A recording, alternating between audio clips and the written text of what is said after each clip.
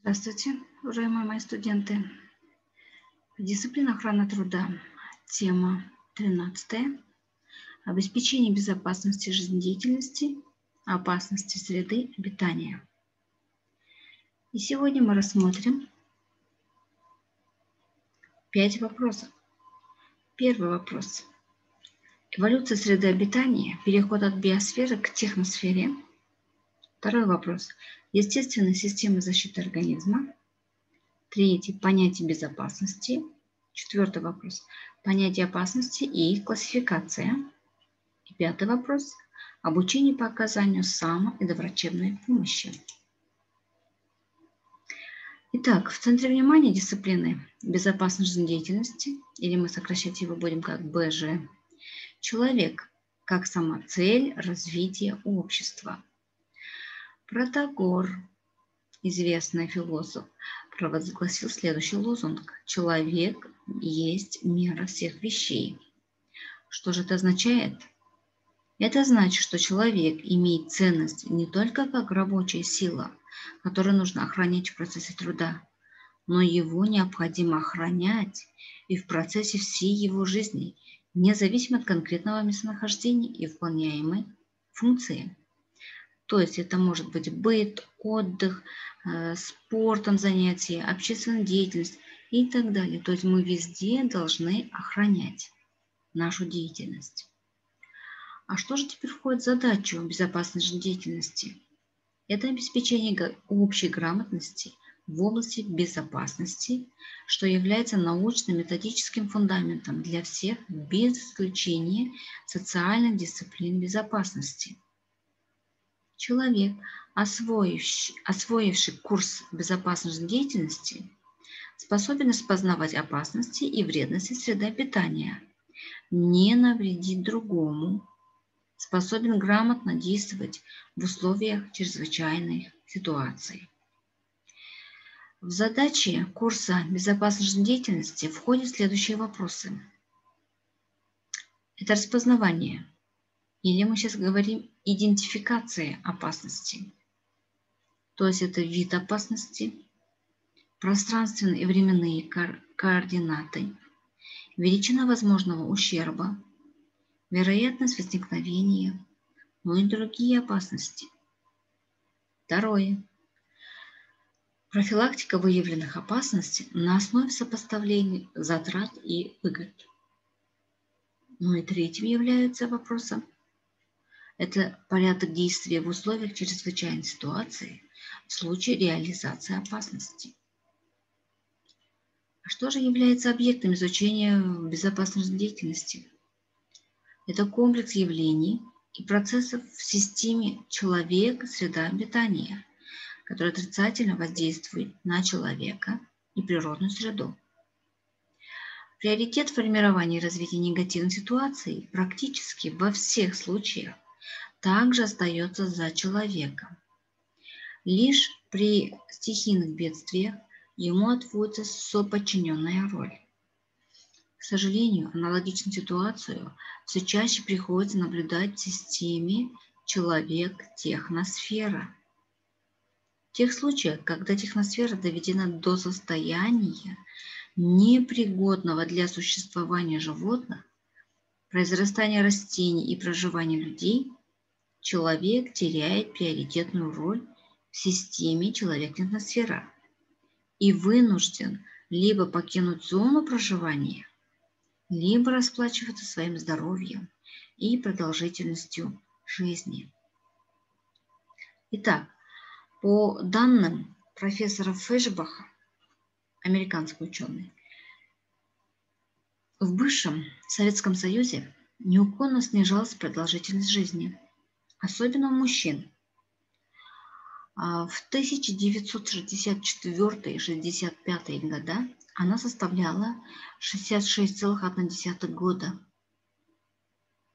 За последнее время она снизилась до 63,9 года.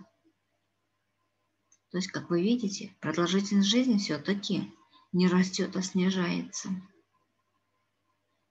В северных районах предполагаемая продолжительность жизни не превышает 40-44 года. северных там все-таки очень холодно. Люди практически, получается, не выдерживают, хотя говорят, там, где холодно, хорошо сохраняешься, но тем не менее это совершенно не так. Средняя продолжительность жизни в Казахстане составляет в настоящее время 64,4 года. Это в целом. А если разделить мужчин 59, женщин 70,2 года. Это средняя продолжительность на данный момент. Как вы видите, женщины живут дольше, чем мужчины. Что же теперь является предметом изучения безопасности деятельности? Это объективная закономерность возникновения опасных и вредных факторов в биосфере и техносфере. Ну, то есть это может быть производственной, городской и бытовой среде. Также предметом изучения является анатомо-физиологические возможности человека переносить воздействие опасных и вредных факторов среды обитания в обычных и чрезвычайных ситуациях. Ну и третье. Средства формирования комфортных и безопасных условий жизнедеятельности и сохранения природной среды. Правовые и организационные основы обеспечения безопасности жизнедеятельности. Но, соответственно, основные и вредные факторы, обусловленные деятельностью человека и продуктами его труда, называются антропогенными. То есть опасные вредные факторы создают сами люди. Это есть антропогенные опасности. Природная среда также может быть источником опасных вредных факторов, такие, которые классифицируются как естественные. Это естественная опасность. Они возникают при стихийных явлениях, то есть это может быть извержение вулканов, землетрясение, наводнение, молнии и так далее. К ним относятся повышенные и пониженные температуры окружающей среды. Это может быть повышенный фон, радиационный фон. Сейчас оно наблюдается. Обвалы, оползни, сход лавин и так далее.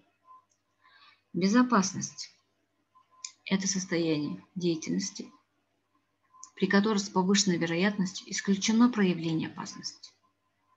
Это возможно обеспечить только при решении трех основных задач. Итак, первая задача.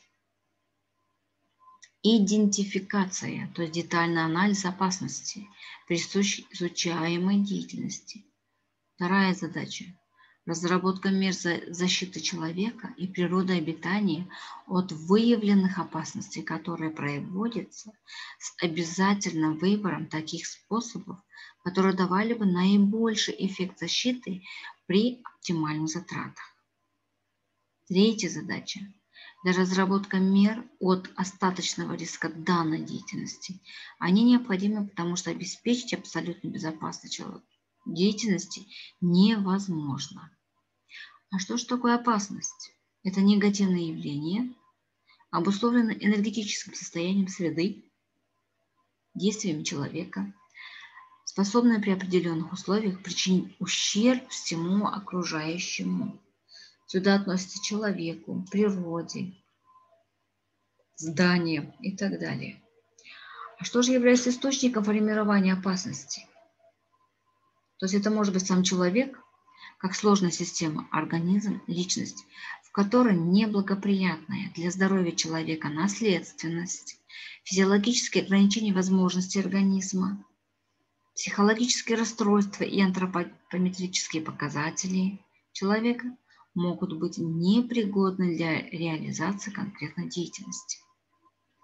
Также источником формирования опасности может быть элементы среды обитания – которыми для любой деятельности являются это предметы, средства продукты труда, используемая энергия, климатические условия жизни и микроклиматические условия труда.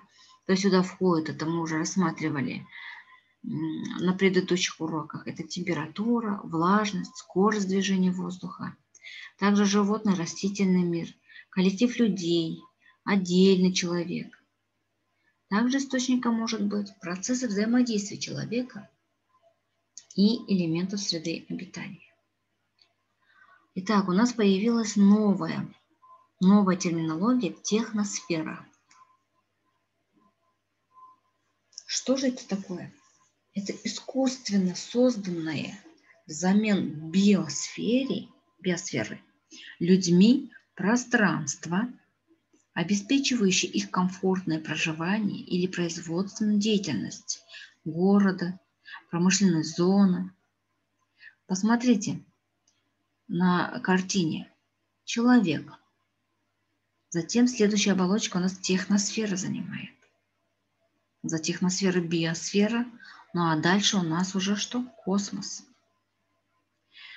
В 20 веке на Земле возникли зоны повышенного антропогенного и техногенного влияния на природную среду.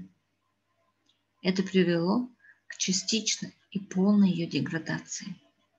Этим изменениям способствовали следующие эволюционные процессы.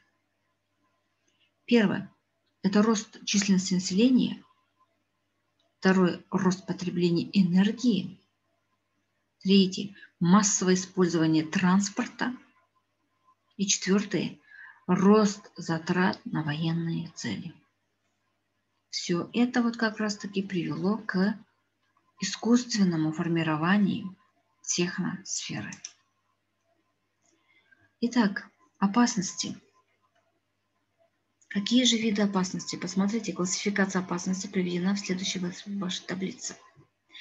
Опасности э, классифицируются по, по происхождению, Посмотрите, они бывают, в свою очередь, природные, техногенные, антропогенные, экологические, социальные, биологические. Опасность по способу воздействия – физические, химические, механические, биологические, психофизиологические. По месту локализации – литосферные опасности, гидросферные, атмосферно-космические.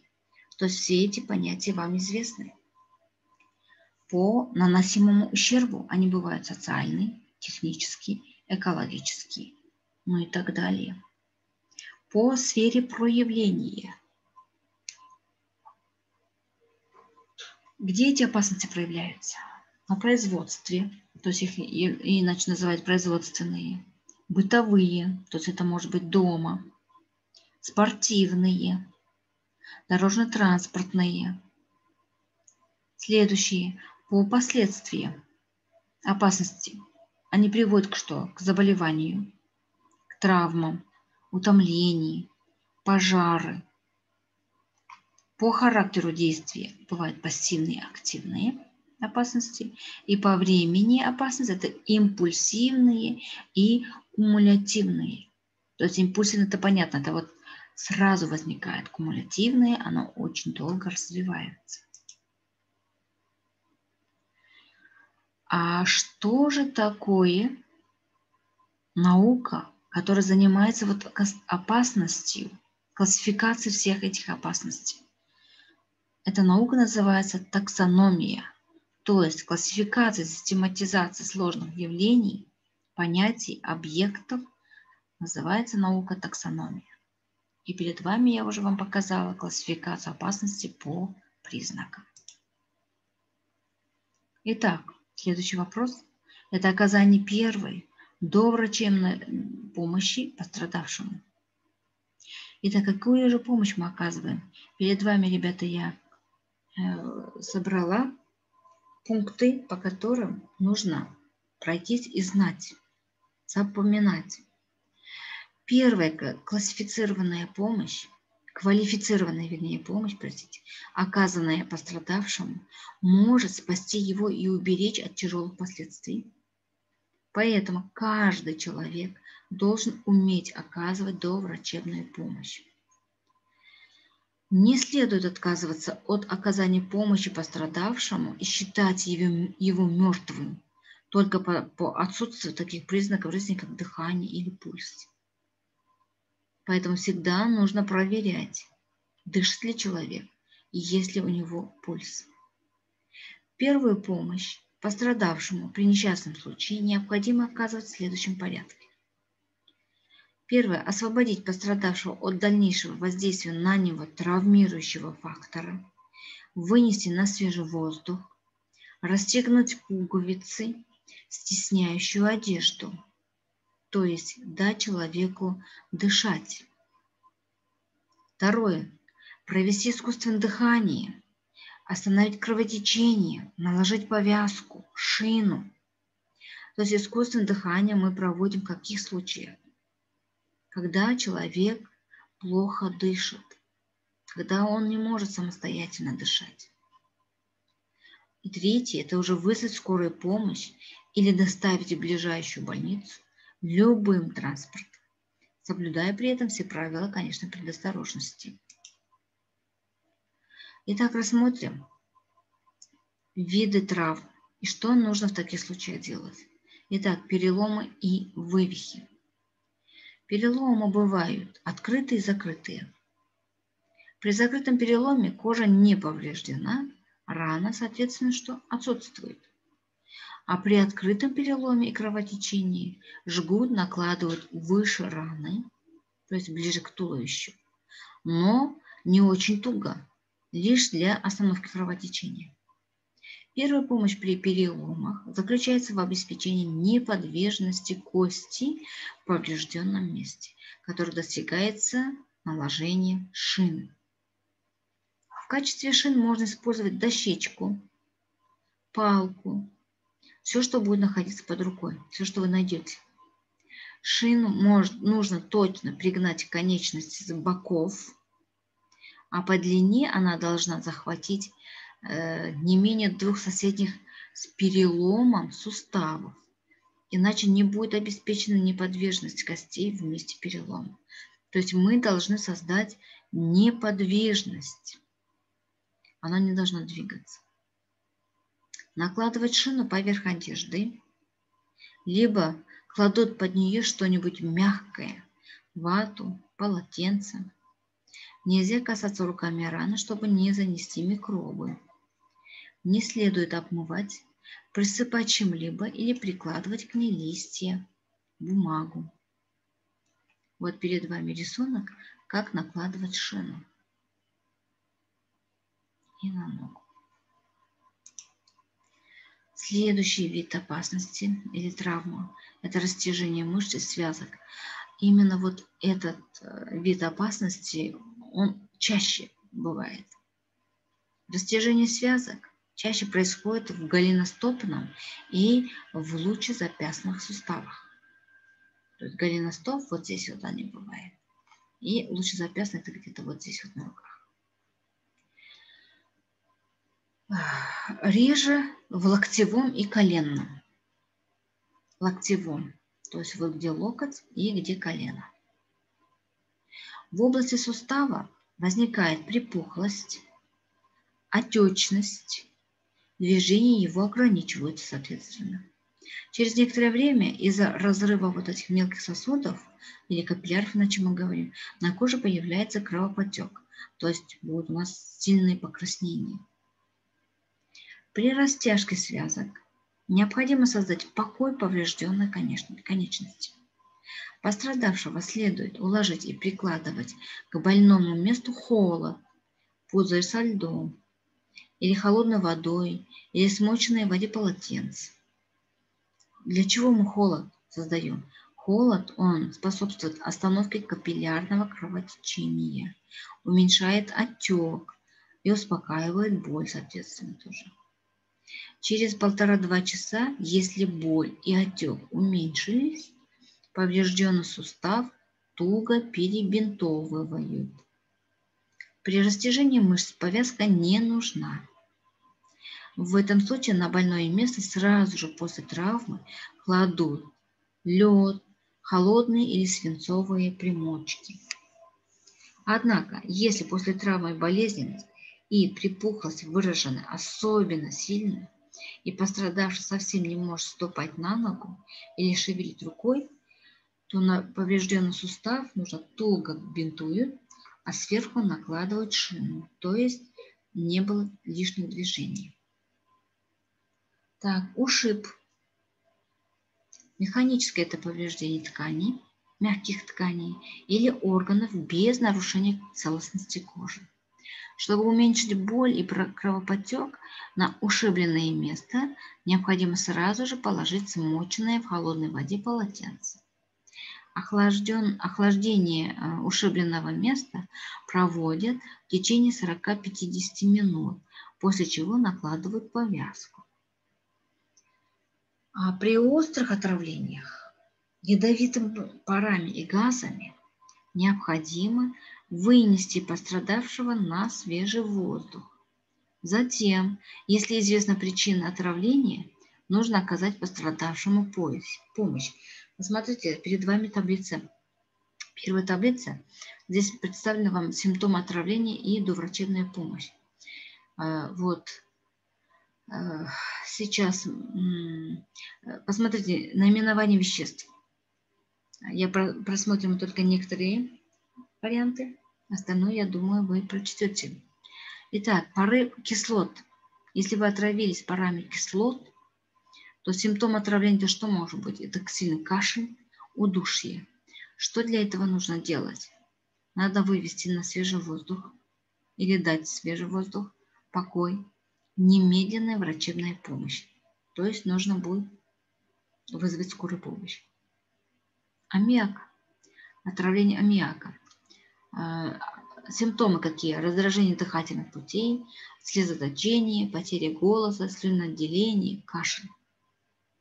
Опять-таки, везде, во всех случаях свежий воздух нужен. Покой. При потере сознания искусственное дыхание, ну и, соответственно, врачебная помощь. Пары ацетона. Это головная боль, головокружение, тошнота, слезоточение. Здесь стоит прочерк, это означает то же самое, что в предыдущем. В случае аммиака. Какую помощь нужно оказывать. Ну и так далее. Вот теперь посмотрите. В основном здесь могут быть пары ртути.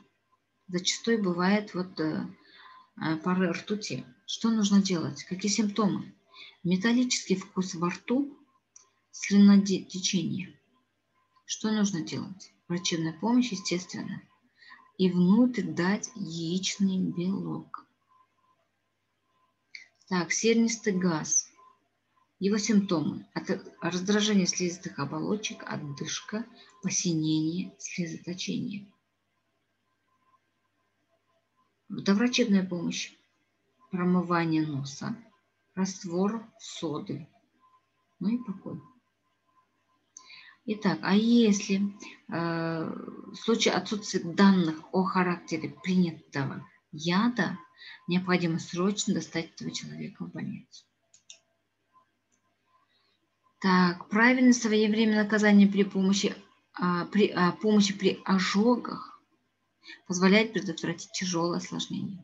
Нельзя допускать, чтобы человек, на котором загорелась одежда, бежал его нужно что делать? Срочно накинуть на него пальто или брезент, попытаться потушить пламя водой, землей или песком. При тепловых ожогах первой степени, которые характеризуются краснотой, оказывающий помощь должен охладить место ожога водой или воздухом, засыпать содой, а затем наложить повязку.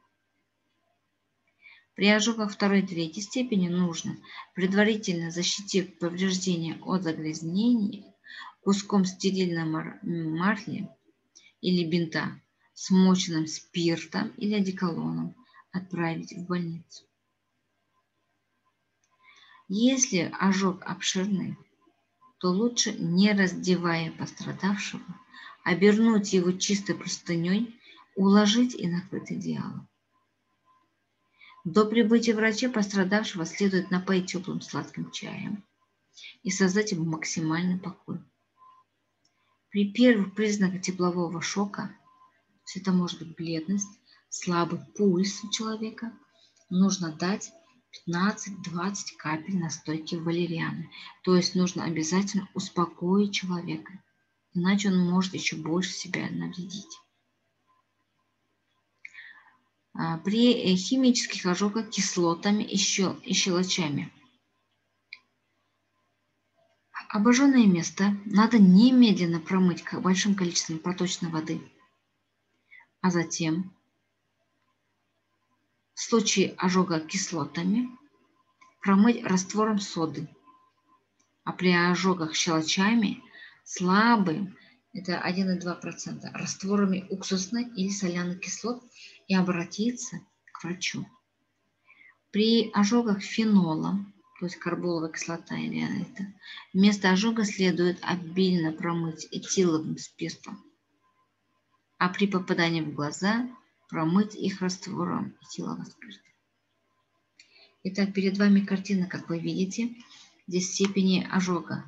Первая степень, здесь только покраснение. Вторая степень, здесь уже появляются пузырьки на коже. Ну и третья степень, э, это уже посмотрите, почти обугливание идет, чернота. Ну и, возможно, до костей уже сгоревшее тело.